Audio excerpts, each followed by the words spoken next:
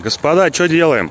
Упорная борьба с незаконными навалами крупногабаритного мусора продолжается. Рейды проходят по всему округу. В поселке Горки-2 сотрудники Госадмтехнадзора поймали нарушителей, которые пытались выгрузить мусор из машины на непредназначенной для этого контейнерной площадке. Не удалось, заставили собрать и увезти.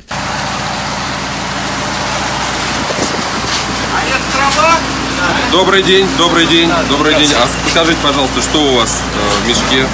Мусор, трава. Молодой человек несет уже пятый мешок с травой и выбрасывает не в контейнер, а просто кладет рядом. За это ему грозит штраф в 5000 рублей. Получается, не знал. Эти жители Голицына тоже не могут разобраться, куда и какой мусор можно выбрасывать. Ну, может быть, кто-то возьмет это. Нет, нужно кто-то это брать никто не будет. сливы Нет, это никто брать не будет, однозначно. Рейды «Чистая контейнерная площадка ТКО» будут проводиться регулярно до полного пресечения нарушений. Не оставайтесь равнодушными. Если вы увидели таких нарушителей, зафиксируйте их действия на фото или видео и обратитесь в полицию для установления личности. Елена Морозова, телекомпания «Одинцова».